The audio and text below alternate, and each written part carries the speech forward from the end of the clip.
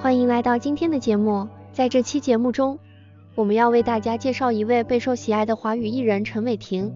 他是一位颇具才华的香港演员、歌手和模特，以其多样化的角色和出色的表现，赢得了观众的广泛认可。首先，我们回顾一下陈伟霆早期的演艺生涯。陈伟霆在年轻时期便展现出对表演的热情和天赋。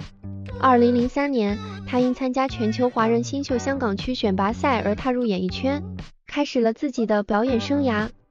在成名之前，陈伟霆曾出演过一些影视作品。二零零六年，他加入了 Sunboys 组合，正式开始了自己的音乐生涯。两年后，他决定独立发展。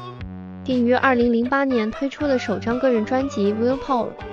尽管刚开始陈伟霆并没有迅速成名，但他始终坚持努力，不断提高自己的演技。在这个阶段，他出演了一些代表作品，如青春爱情片《阳光学院》和青春励志片《翻滚吧，阿信》。这些作品为他后来的成功奠定了基础。